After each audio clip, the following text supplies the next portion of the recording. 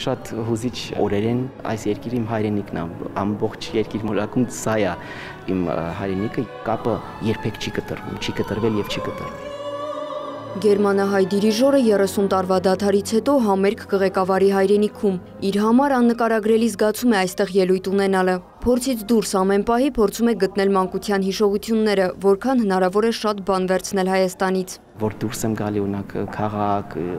անցնելով ամեն ինչ ինձ համար հետարքիր ամեն ինչը կարևոր է համագործակցությունը ունակ կամերային նվագախմբի հետ հաճույք է ինձ համար հաճույք է իսկապես մեծ հաճույք է պատճառում ուրախություն է եւ շատ նենց ինչ որ հարազատ ինչ որ մտնոլորտ Այս անգամ կախարդական փայտիկը կթափահարի կոմիտասի անվան կամերային երաժշտության տանը։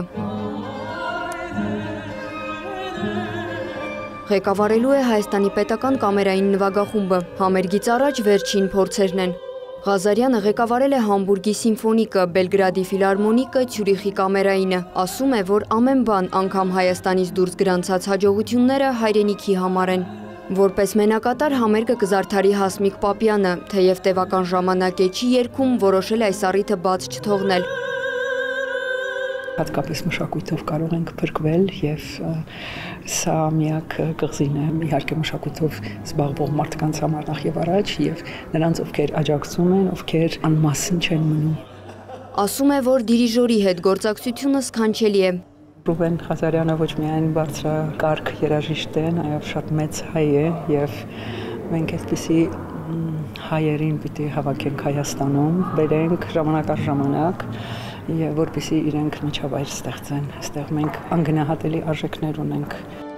Ծրագրում Բենջամին Բրիտենի Պար սիմֆոնիա, Կոմիտաս, Անտոն Արենսկու, Լարային Խարյակ, Կամերային երաժշտության ազգային կենտրոնից նշում են, որ այս համերգի տոմսերը գրեթե սպառվել են։ Հավելում հովեր կամերային երգչախումբն էլ համերգ կունենա Գերմանիայում։ Այսպես կփակեն համերգաշրջանը։